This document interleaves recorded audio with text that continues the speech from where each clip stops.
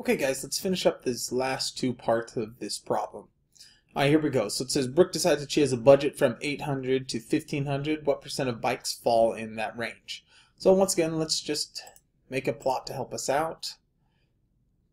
We'll go to normal and go to plot the normal distribution.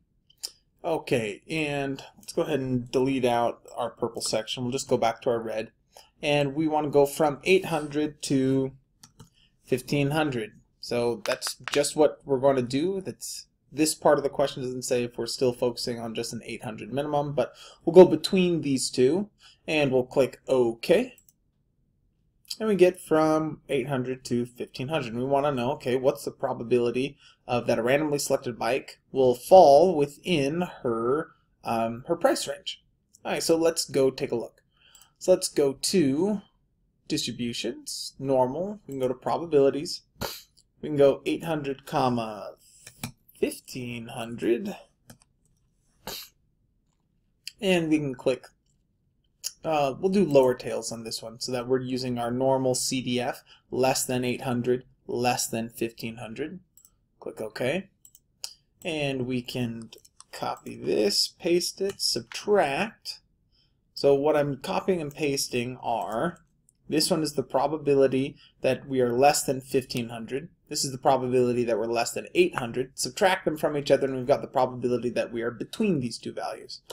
And we get like almost 70% of the bikes are within her price range. Let's paste that and let's write out, I forgot to do a probability statement. Let's do it.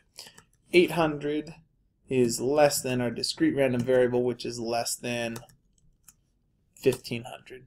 That's what we're looking for. Okay, number six. Here we go. Okay, 63.2% of bikes cost more than what value?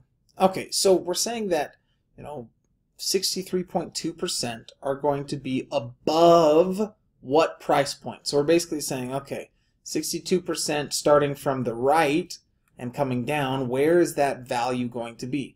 We know that if we come from the right to the left at a thousand is 50% and then as we kind of sneak our way over um, we're going to get more and more. So we're at 63.2 I'd say I don't know maybe 900 dollars because I know it's past a thousand where we've got 50% yeah so maybe 900 that's kind of my guess. Uh, but we can go and verify that here in just a second. So the probability um, oh, we, we know what the probability is. What we don't know is, okay, x is going to be greater than some value, and that's going to be equal to 0.632. And we want to know what is this little value. Let's see if I can't.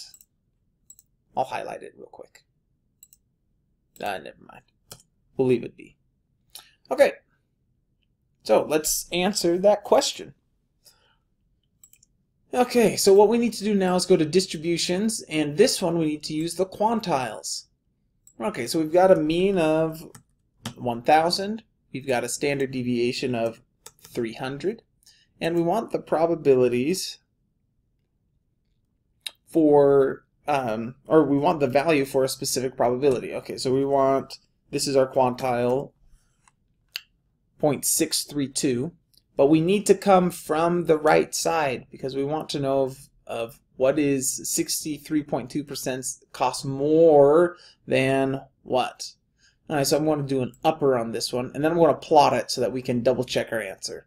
So I'm going to click OK. And we get, hey, I was really close when I said 900. I'm going to copy this guy. And the value of the bike is like almost $900. So let's do one more. Distributions, we're going to go to plotting our normal. And this time we're going to go, once again, we're just going to go above. So 2000 will be pretty good